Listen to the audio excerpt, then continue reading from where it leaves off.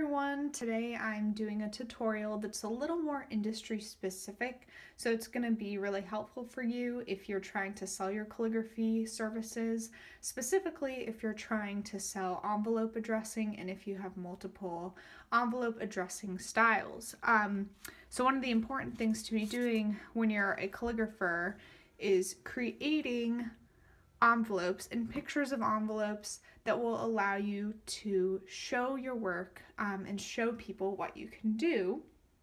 So I took the time today to create some photos for my website online, but I did things a little differently because instead of addressing all of my styles onto envelopes like this and taking pictures of them individually, I decided to go about it a little bit of a roundabout way, um, but that way it would just keep my work looking super consistent. So I actually ended up styling an image first. So I created a flat lay um, with these envelopes.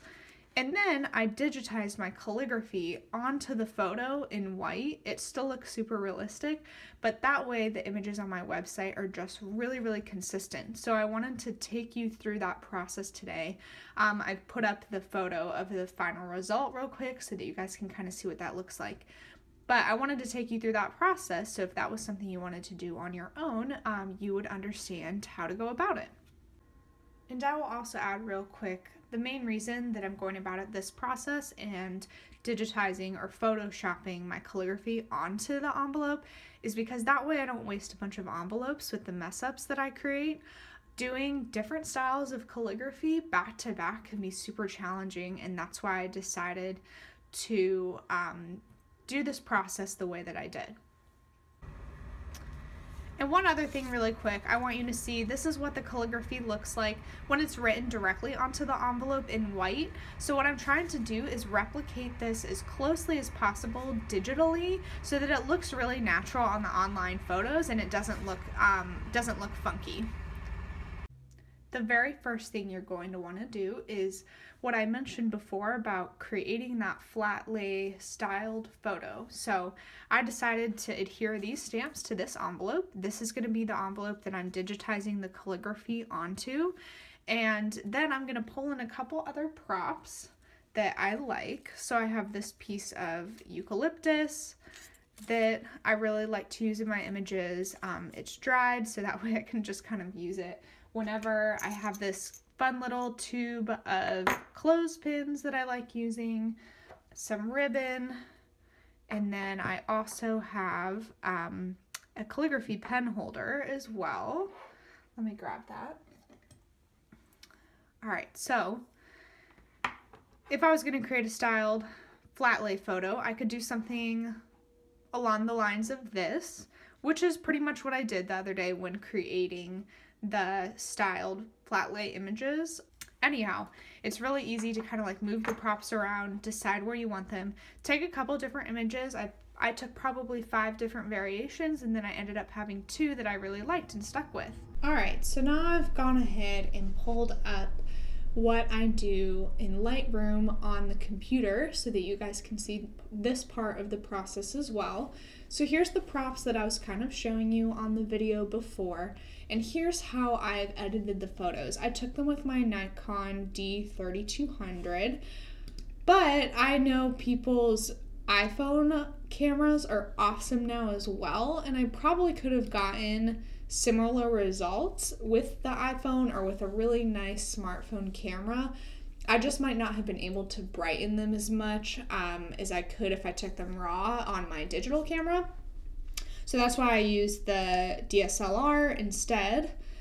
Um, and so you can tell that I took time to style a bunch of different varieties. This is an example of the photo before it's unedited, so it's just a lot darker. Um, but the rest of these are nice and bright and have great variety. And I settled on using the last two, I think. I really liked this one and I liked this one as well because they're similar in composition, but they have variety between them, so it'll still kind of spice things up when I use the images online as opposed to using the same image over and over for every calligraphy style, which can get a little monotonous.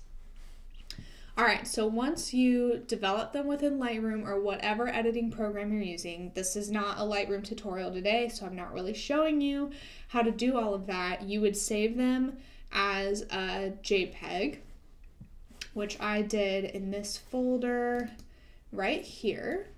So you can see all my images are in this folder, the envelope samples image. Images, excuse me.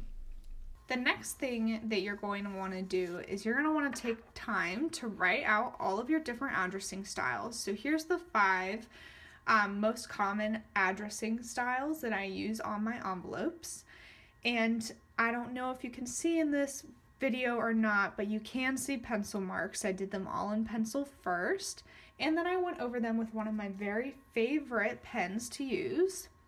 It's the Pentel Touch brush pen. This is linked below, so if you want the opportunity to buy the same one, it's amazing. It has a nice point to it, and when you give it pressure, you can thicken the line, so it creates a really nice faux calligraphy in a sense. And then I took these five styles once I had them written out and I had made up my fake addresses. These are all fake people with completely fake addresses. Then I was able to bring in my light pad and create these in actual calligraphy. So I'll show you that real quick. This is the light pad that I like to use. It's a Huion light pad. That's spelled H-U-I-O-N. I also have that linked below. I think it's a super affordable and a wonderful option and definitely a really nice size for what I'm doing here. So for this next step, I would go ahead and put down the addresses that I wrote in the pencil and pen first, and then I would put a blank piece of paper over them which would look probably something like this, and turn my light pad on to illumin illuminate the bottom layer. I'm not going to show you that part, it's not really necessary. I will try to do another tutorial on using a light pad for calligraphy at some point, but this is what the final result ended up looking like. So obviously, the way the calligraphy looks is slightly different than what the pen looks below it, which is why it was really important for me to do the addressing in actual calligraphy as opposed to just digitizing my handwriting looking like this. So these are the final ones. These were kind of a couple of practices up here at the top and then we have the bottom as well. All of these were then written in my calligraphy and I have my second sheet of calligraphy so there's the handwriting and calligraphy as well. Now you're probably wondering how I'm going to be turning black calligraphy into white calligraphy for these envelopes when I Photoshop them after I edit the pictures. And that is a little bit of clever finagling within Photoshop, so I'll make sure that I show you how to do that. But basically what I've done by writing them like this and digitizing them onto the image that has these envelopes is just save myself the time of handwriting a bunch, messing them up, and then I just get a really consistent and nice look for my website.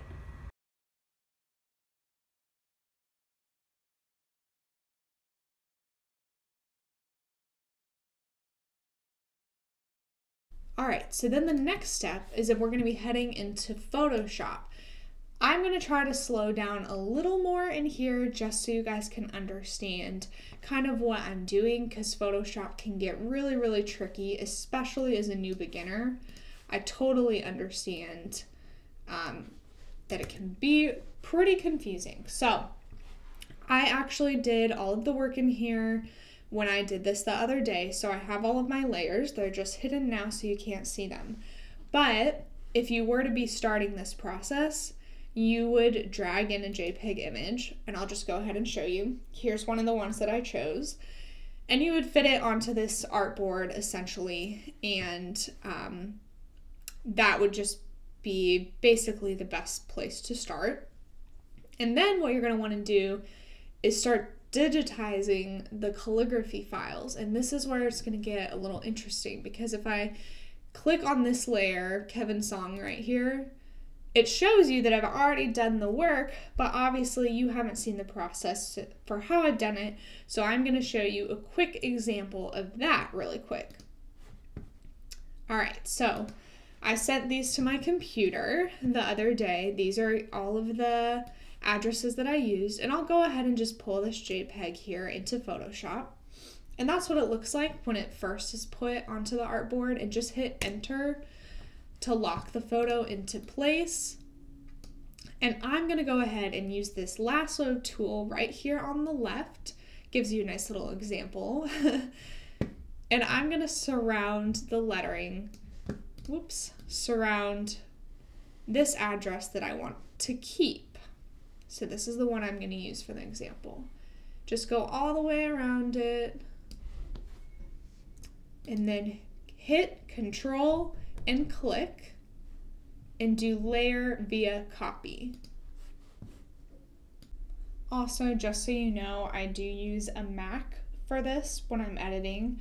Um, so if things look a little different because you're using a PC, that's just something to kind of keep in mind. Um, all right, so you'll now see on the right over here that I've created a new layer one when I did that copy layer. And here's the original image. Um, the original image is still this whole thing right here. So let me hide the envelope layer. I'll hide the original image and that's what we are left with, right? Well, what I wanna do is delete this original layer first, the image 7180, and I'll just pull that into the trash can. All right, perfect. So now we're left with this. I'm gonna go ahead and click the envelope one to make it visible, that layer, um, make it visible again so that we're kind of seeing what we were what we're working with here in terms of size. Okay, so this is definitely going to need to be smaller than Mr. and Mrs. Lance Marsh for the addressing. So I'm going to click on layer one because that's the layer we're working with. Always, always click on the layer that you're trying to change or work with. Otherwise, nothing's going to happen. I remember that was really frustrating for me when I was first learning Photoshop because I could not figure out what I was doing wrong. Also, if you are scaling your image, making it bigger or making it smaller, make sure that you are hitting the shift key to keep it to scale and so it's not going wonky like so. All right, undo. Now I'll hit enter. I like the size of that right now. And I'll turn it to the side a little bit. All right, so this is getting a little closer to the size that we're going to need it to be in the long run. Um, and one other thing, when I did change the size of that layer, I was using this up here, the move tool. So that's what you'll have to be cl clicking to be able to like move this around um, to a different place on the image. All right. The next thing that we're going to do is that we obviously need to get rid of this background that was the paper before. So we're gonna make sure we're clicked on layer one. That's what we're working with. I'm gonna hide the envelope layer again because this is this will get a little distracting if we keep it visible. I'm just gonna leave it on its own like this. I'm gonna hit the tool down here at the bottom for create a new fill or adjustment layer. And I'm gonna click on levels, which is the fourth option, or the fifth, excuse me. And then I'm gonna take this little icon on the right side, this little like triangle, I'm gonna drag it up to here. And you can already kind of see how that background is disappearing when I do that. So that's like brightening the contrast a ton, basically. Um, and then I'm gonna bring this arrow on the left closer in and we have just the black calligraphy left like that. But we need to take in mind that the levels is actually acting as its own layer right now. So you need to use the command button to select layer one. That's the layer we're trying to change. Then right click and choose merge layers. So we're gonna we're gonna create that into one layer that we're working with now. Um, I know the layers can get really confusing, so just try to kind of follow along the best you can. I also linked another digitizing video below that if you want a tutorial of me doing this really, really slow, then you can get that version. All right, so now I'll go ahead and I'll show the envelope picture again. It doesn't matter which one I show, they're just the different, very varied photos. But you're gonna notice that we still have this white background appearing with the black lettering. We need to go over to the left side then and hold down on the eraser tool to choose the magic eraser tool option. And you're to see here at the top that there's a couple different things tolerance, anti alias, contiguous, sample all layers, etc. I'm to leave it exactly how it is right now. Um, the tolerance, I'm just to leave at 30. That's something you can experience with at a later time. 30 is honestly perfect when you have such high level of contrast right here. And I'm going to click that white background and it's all going to disappear, which is awesome. So we basically cleared that background now. So if I hid that envelope layer, you would be seeing the lettering. And if I show the envelope layer, you'll know that there's no background anymore. But the problem is that this, not only is it a little too big, so I'm sizing it down a little bit with the move tool, but it is also black and it needs to be white. So I'm going to teach you a quick way, very quick and very easy way to do that. And that is through using the rectangle tool over here on the left. So make sure, once again, we're on levels, um, the layer that we're trying to edit right here, which I'm going to go ahead and I'm going to rename that editing layer so you guys can tell that's what I'm working on. So make sure you're selected on that.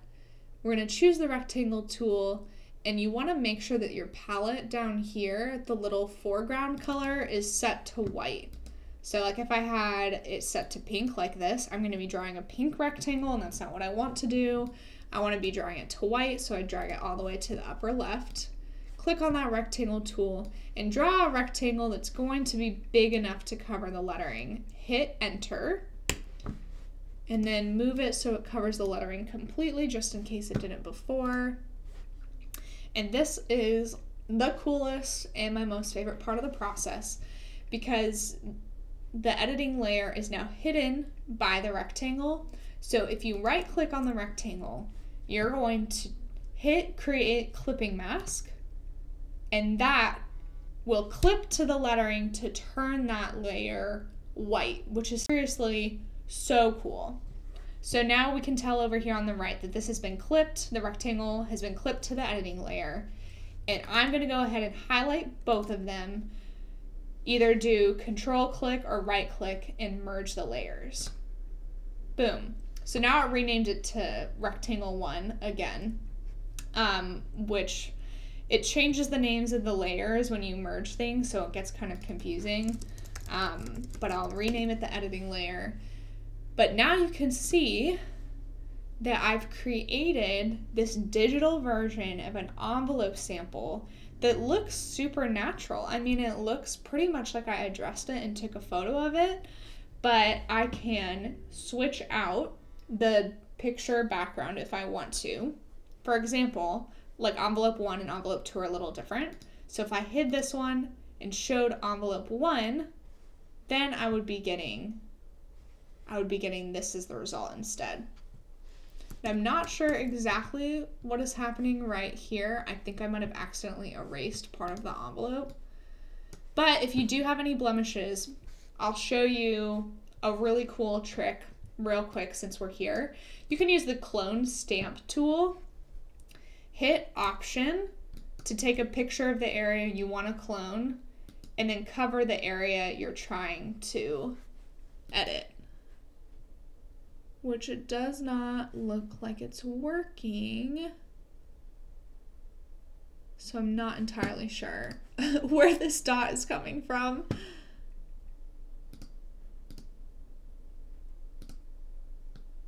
Huh, that's super interesting. Nope, it's definitely. Oh, do you know what I was doing? I had my tool on the editing layer selected instead of the envelope layer, the correct envelope layer, which would explain why it wasn't doing anything. And that's what I was kind of trying to tell you before that you have to make sure the right layer is selected.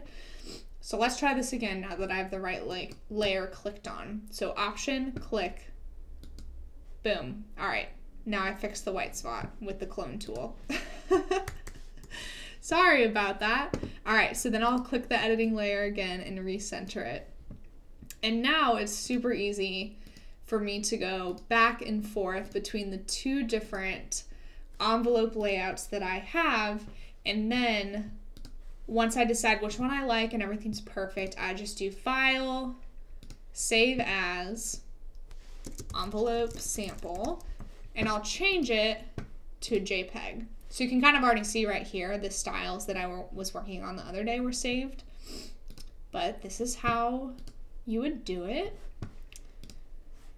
You can see it appeared in my folder. And if I open that up, I have a beautiful JPEG that I can now either put on Instagram or put onto my website. So there you have it. That's pretty much exactly what I did for my process for creating the sample envelopes for my different calligraphy styles. I'll go ahead and show you real quick what that looks like. It's underneath my services and envelope addressing. And I was finally able to add all my different styles of addressing while keeping them looking super, super natural. And the fun thing about Photoshop as well is that if you're photoshopping the envelope and you've made some sort of mistake, that gives you the ability to kind of clean it up before creating the final version. Um, but basically, this tutorial will be super helpful if you're a fellow calligrapher like me, kind of trying to get started and trying to get your work online. Um, just to put things in perspective, I started calligraphy in the fall of 2014 and I did not add anything like this website. Uh, like this to my website until the past week, and it's now 2018. So, seriously, don't be hard on yourself if you've just started calligraphy and you don't have something like this yet. This is just kind of a tutorial to give you an idea of something you can do. Anyways, I hope you enjoyed the video. Um, give it a like if you enjoyed it and feel free to subscribe as well. I'm trying to post two new YouTube videos a month this year. Have a great day.